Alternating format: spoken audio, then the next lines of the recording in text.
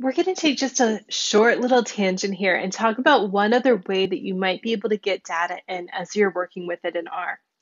That is data that comes in from R packages.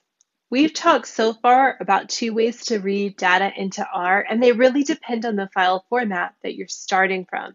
If you have a flat file, we talked about ways like read underscore CSV and read underscore delim from the readr package to get that into R. We also looked just a little bit about how you can use packages like Haven um, to read in files from binary formats like SAS, and then also some functions that you can use to read in data from Excel. There's another source that I think is very easy and convenient, and we'll be using this for a lot of our examples. This is when an R package includes as part of what it sends you when you install that package some data sets. Sometimes these will only be used as kind of a way to illustrate the functions there, so they might be used in the examples in the help files, but sometimes the whole point of the package could be the data. So we'll be working some with a package that actually is kind of a companion piece to a textbook, and it's the way that the author provided example data sets for people to try out for the different statistical methods that he was describing in the textbook. We're going to be using this package. It's called Faraway. So you'll need to make sure that you install it if you haven't. Again, you would do packages, and then Faraway in quotation marks. And then the name, um, that's got a number of different data sets. And I'll show you in just a second how you could go through and see all of the ones. But let's start by seeing if you know the name of one, how you load it. So there's one data set there. It's called World Cup. If we know that name, then all we need to do is just do a data call with World Cup. So let's take a look at that. We can do library, Faraway. And again, if you don't have this already, you would need to install it. And now, if we know the name of the data frame there that we want, we can put in World Cup. Now you can see over here that I've got that added in. And right now it's just something called a promise. It won't actually load this in until we're ready to use it. So if this were something really big, that might save us a little bit of time on our computer right now, especially if we ultimately never used it. But as soon as we start using it, we'll see it. So let's come back over here and print that out. We'll use head of World Cup. And now if we run that, you can see the data and you can see over here it's moved into a full kind of data object that's defined. So in this case, we have some data on World Cup teams from a few years ago, and we'll be using this a lot in examples moving forward.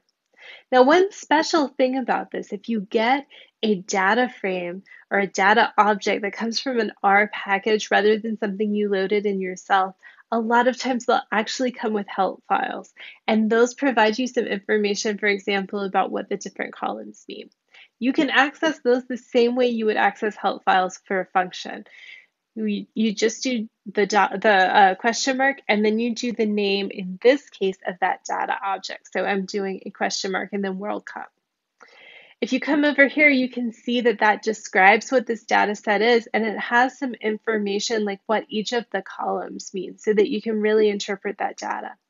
In some cases, they will also have information about the source that the data came from if you ever need to cite that, for example, if you're using it for research. All right, so this is what I was just mentioning about the help files. And then the last piece to talk about here is how you figure out what different data sets are available.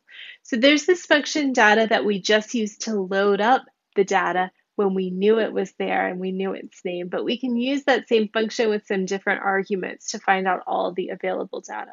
So first of all, if we just do it by itself with nothing in between, it will pull up a window where it shows us all the available data sets across any of the packages that we have. So for example, we have a number in, in the case on my computer coming from a package called datasets. And I believe this might come with base R.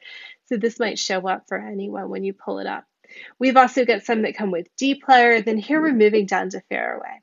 If you have a lot of packages available, this list might be pretty long. So what you can do in that case is you can come down and in that data call, you can include the name of the package.